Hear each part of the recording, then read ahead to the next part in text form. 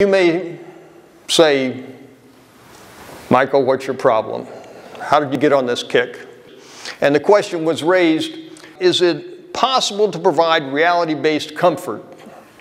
That was the question. We've all been to the memorial services where the cliches are flying and uh, magic and make-believe and, and, and Hallmark cards or folks are taking notes and Aunt Susie's in a better place now.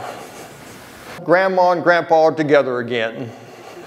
And of course, the most offensive one to me personally uh, was uh, when the individual officiating the service happened to mention that he planned on going fishing again with the deceased in a, in a special bass boat.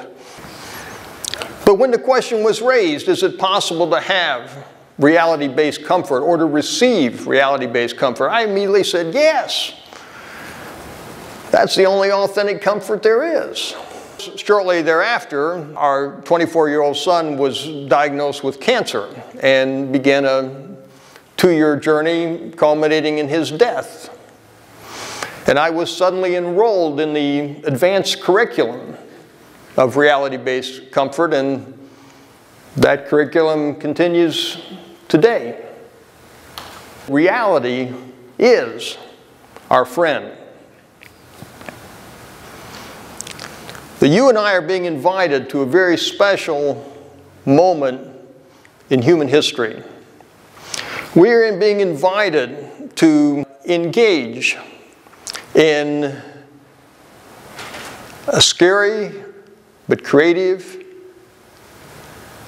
process as we learn the new language. And where are we going to learn this new language? Well, you see, purpose of an effective myth is to deliver us to a place of no myths.